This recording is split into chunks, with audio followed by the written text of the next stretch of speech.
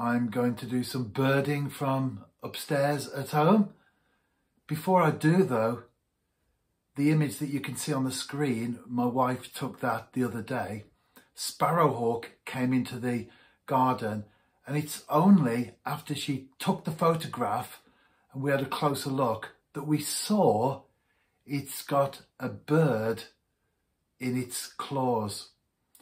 And if you pinch the image on your phone or your tablet, you can open it up and see that it's actually a goldcrest. I saw both sparrowhawk and goldcrest last year in the garden. This year though, not yet. I'm sure I will at some point. Right, let's get the binoculars out.